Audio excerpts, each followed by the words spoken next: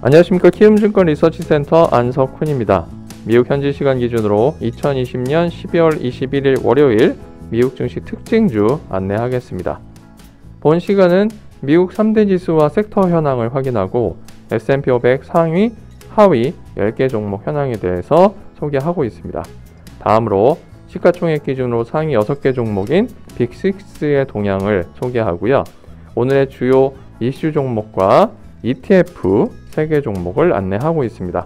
마지막으로 마감 후에 주요 종목에 대해서 안내하면서 시간을 마치고 있습니다. 그럼 이제 3대 지수 및 섹터 현황 먼저 소개해 드리겠습니다. 오늘 미국 증시는 부양책 타결 이후에 코로나19 변이 우려가 두드러지면서 혼조세로 마감했습니다. 다우는 0.12% 상승한 반면에 S&P 500은 0.39% 하락했고 나스닥은 0.1% 하락했습니다. 중소형 지수인 러셀 2000도 오늘 약보 합세를 보이면서 마감했습니다. 섹터의 경우는 11개 섹터 중에 2개가 상승했고 나머지 9개는 하락했는데요. 금융이 1.24% 상승하면서 가장 높은 상승률을 기록했고 IT가 0.07% 상승 마감했습니다. 반면에 에너지는 1.8% 하락하면서 가장 부진한 수익률을 보였고요. 이어서 유틸리티가 1.26%, 필수 소비재가 1.05% 하락하면서 어, 세 개 섹터는 1% 이상의 하락세를 보였습니다. S&P 500 상위 10개 종목 현황 그럼 소개하겠습니다. 오늘 가장 높은 상승률을 기록한 종목은 투자은행 업체인 골드만삭스 그룹입니다. 6.13% 상승했고요. 다음에는 동종업체인 모건 스탠리가 5.69% 상승 마감했습니다. 스포츠웨어 업체인 나이키도 4.91% 상승했고요. 공동주택 전문 리츠인 어파트먼트 인컴 리츠가 4.13%, 은행지주 회사인 캐피탈원 파이낸셜이 4.06% 상승했습니다. 이어서 대형 상업은행 업체인 JP모간 체이스와 뱅크 오브 아메리카, 시티그룹이 상승세를 이어갔고요. 뱅킹 서비스 업체인 자이언스 뱅코퍼레이션과 소비자 금융 서비스 업체인 싱크로니 파이낸셜이 S&P 500 상위 10개 종목에 랭크되었습니다. 반면에 S&P 500 중 가장 부진한 수익률을 기록한 10개 종목 현황을 살펴보면 전기자동차 업체인 테슬라가 6.50% 하락하면서 가장 부진한 수익률을 보였습니다. 오늘 S&P 500 어, 편입 후 첫 거래일이었는데요. 다음으로 종합에너지 업체인 옥시덴탈 페트롤리엄이 5.67% 하락했고요. 사무실 전문 리츠인 SL 그린 리얼티가 4.04%, 건강보험 업체인 센틴이 4.02% 각각 하락 마감했습니다.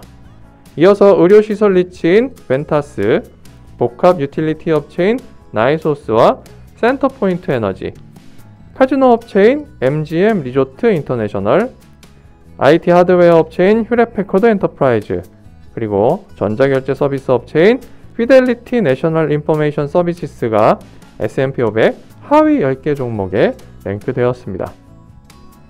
그럼 다음으로 Big 6 동향 확인하겠습니다. Big 6는 어, 시가총액 기준으로 상위 6개 종목을 의미하고요. 먼저 애플입니다. 애플은 오늘 1.24% 상승 마감했습니다. 빠르면 오늘 2024년에 자율주행 전기차를 출시하기 위해서 준비 중이라고 로이터가 보도한 영향인데요. 지난 2014년부터 애플은 타이탄 프로젝트라는 명으로 자동차를 준비하고 있었습니다. 그동안 어, 조직의 확대와 축소를 거듭하면서 현재까지 이어오고 있는데요. 오늘 2024년 혹은 2025년이면 애플에서 어, 출시한 자동차를 볼 가능성도 높아졌습니다. 마이크로소프트는 오늘 1.83% 상승했습니다. CT가 동사의 클라우드 사업 부문에 강력한 성장세를 들어서 동사의 투자 의견을 중립에서 매수로 상향 조정하고 목표 주가도 229달러에서 272달러로 상향 조정했습니다. 그 영향으로 거의 2% 가까이 상승세를 보였고요. 오늘 아마존닷컴은 별다른 개별 이슈는 없었습니다. 0.14% 상승 마감했고요. 알파벳은 오늘 0.48% 상승했는데 베론즈가 발표한 2021년 top 10 종목에 포함된 영향입니다.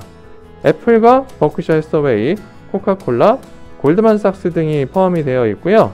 동사 같은 경우는 버크셔 해서웨이와 함께 2020년에도 top 10 종목에 포함되어 있었습니다. 이렇게 네 종목은 오늘 상승했는데 두 개 종목은 하락했습니다. 페이스북이 1.31% 하락했고 테슬라가 오늘 6.5% 하락했습니다. 페이스북은 지난주에 38개 주에서 반독점법 위반 소송을 제기하면서 약세를 이어오고 있고요. 테슬라는 오늘 애플의 전기차 출시 소식과 S&P 500 편입 후 차익 매물이 출회되면서 급락하는 모습을 보였습니다. 이들 빅6의 마감 후 동향도 살펴보면 애플은 마감 후에도 1.86%큰 폭의 상승세를 보였고요. 마이크로소프트도 0.09% 상승했습니다. 반면에 아마존닷컴은 0.1%, 알파벳은 0.03%, 페이스북은 0.22%, 테슬라는 0.01% 각각 하락하는 모습을 보였습니다. 자, 그러면 이제 오늘의 이슈 종목 확인하겠습니다. 다섯 개 종목 소개하는데요. 먼저 S&P 500 중 가장 높은 상승률을 기록한 투자은행 업체인 골드만삭스는 오늘 6.13% 상승했습니다. 티커는 알파벳 두 글자 G, S이고요. 52주 신고가를 경신했습니다. 지난 18일 금요일에 미 연준이 스트레스 테스트를 결과를 발표했는데요. 그 결과가 긍정적인 것으로 나타나면서 내년 1분기 대형은행의 자사주 매입 재개를 허용한 영향입니다. 실제로 6월 말에 연준은 은행들의 자사주 매입 중단과 배당금 제한 명령을 내린 바 있습니다. 이에 따라서 오늘 금융주가 큰 폭의 상승세를 보였는데요. 모건 스탠리가 5.69% 상승했고 JP 모건 체이스가 3.75%, 뱅크 오브 아메리카가 3.73%, 시티그룹이 3.67% 각각 상승 마감했습니다. 골드만삭스는 장마감 후에도 0.2% 상승하는 모습을 보였습니다. 반면에 S&P 500 중 가장 부진한 수익률을 기록한 전기자동차 업체인 테슬라는 6.50% 하락했습니다. 티커는 알파벳 4글자 T, S, L, A이고요.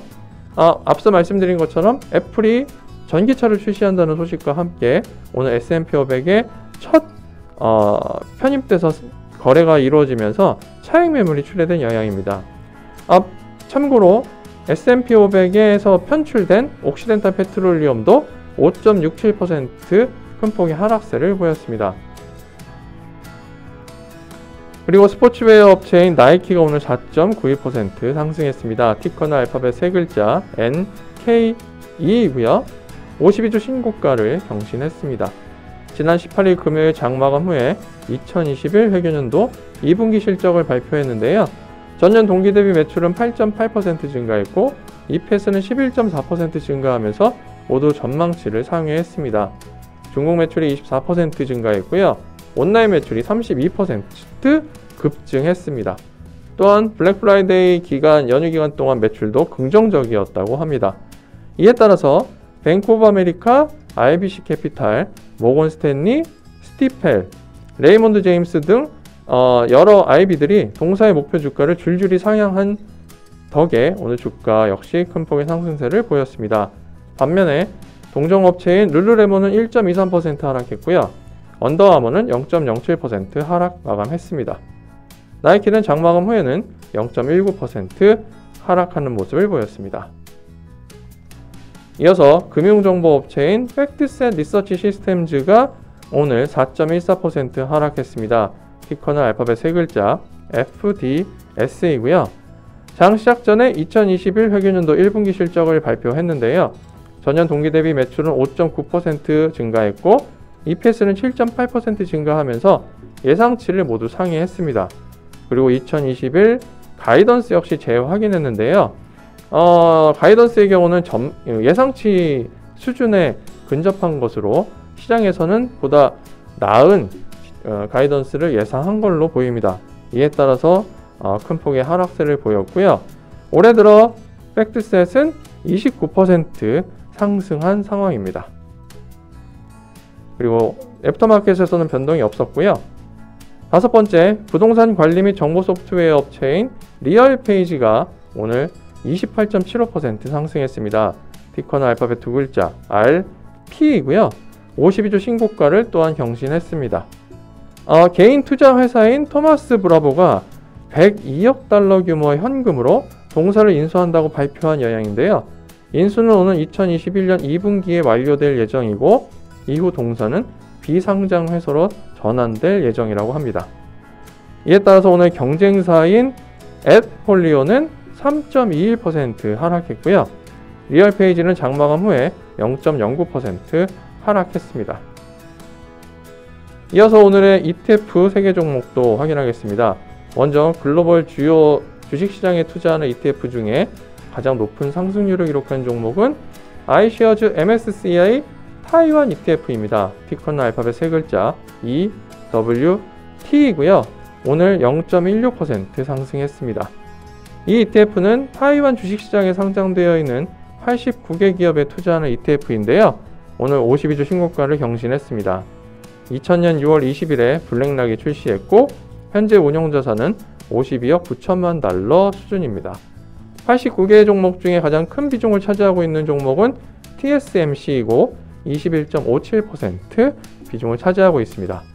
장마감 후에는 0.25% 하락하는 모습을 보였고요. 11개 섹터 중에 가장 큰 상승률을 기록한 ETF는 파이낸셜 셀렉트 섹터 스파이더 펀드입니다. ticker는 알파벳 세 글자 X, L, F이고요. 오늘 0.81% 상승했습니다. S&P 500에 속한 66개 금융기업에 투자하는 ETF로 지난 2000, 1998년 12월 16일 스테이트 스트리트가 출시했습니다. 현재 운용자산 규모는 238억 달러이고요. 66개 종목 중에 가장 큰 비중을 차지하고 있는 종목은 버크셔 해서웨이 B주로 13.84%의 비중을 차지하고 있습니다. 장마감 후에는 0.24% 하락했습니다. 그리고 오늘 주요 산업에 투자하는 ETF 중에 눈에 띄는 ETF는 앰플리파이 트랜스포메이셔널 데이터 쉐어링 ETF입니다. ticker는 알파벳 네 글자 B, L, O, K로 3% 상승했습니다. 최근에 블록체인, 비트코인 가격이 급등함에 따라서 이 ETF에 대한 가격 추세도 계속 상승세를 보이고 있는데요. 미국 주식시장에 상장되어 있는 57개 블록체인 관련 기업에 투자하는 ETF로 오늘 52주 신고가를 또 한 번 경신했습니다. 2018년 1월 16일 앰플리파이가 출시했고요. 운영자산은 현재 2억 7천만 달러 규모이고 가장 큰 비중을 차지하고 있는 종목은 실버게이트 캐피탈로 5.93%입니다. aftermarket에서도 1.32% 상승 마감했습니다. 자, 그리고 오늘 장, 정규 시장 마감 후에 마감 후 시장의 주요 종목 확인하겠습니다. 상승한 종목 중에는 전기 유틸리티 업체인 에버지가 1.36%, 그리고 쇼핑센터 전문 리츠인 페더럴 리얼티 인베스트먼트 트러스트가 1.29%, 소비자 금융 서비스 업체인 싱크로니 파이낸셜이 1.12%, 에너지 탐사 및 생산 업체인 데번 에너지가 1.05% 상승했고요. 하락한 종목 중에는 항공방산업체인 텍스트론이 3.42% 하락했습니다. 또한 클라우드 네트워킹 업체인 아리스타 네트워크스가 2.53%, 부동산 서비스 업체인 CBRE 그룹이 2.21%, 그리고 항공기 부품 업체인 트랜스다임이 오늘 2.08% 하락하는 모습을 보였습니다. 그리고 가장 눈에 띄는 어, 종목 하나 소개해 드릴 건데요. 오늘 장마감 후에 무려 8% 넘게 상승한 종목입니다. 구독형 홈트레이닝 업체인 펠로톤 인터랙티브가 그 주인공인데요. 펠로톤은 정규 시장에서도 3.25% 상승한 데 반해, 비해, 아, 상승한 데 이어서 aftermarket에서도 8.26% 상승 마감했습니다. 오늘 나스닥 100 상장 첫날인데요. 그 첫날 상승세를 이어서 장마감 후에도 큰 폭의 상승세를 보였습니다. 이유는 장마감 후에 피트니스 장비 업체인 프랩코를 인수한다고 발표한 영향인데요. 인수 금액은 4억 2천만 달러 수준이고 이를 통해 피트니스 제품의 시장 점유율을 확대할 수 있다는 평가입니다. 그리고 최근 펠로톤은 1년간 340% 가까이 상승한 상태로 코로나19 팬데믹에 따른 최수혜주 중 하나로 뽑히고 있습니다. 내일 주식 투자, 주식 종목 보실 때 유의해서 살펴보시면 좋겠습니다. 이상으로 2020년 12월 21일 월요일 미국 증시 특징주 안내해드렸습니다.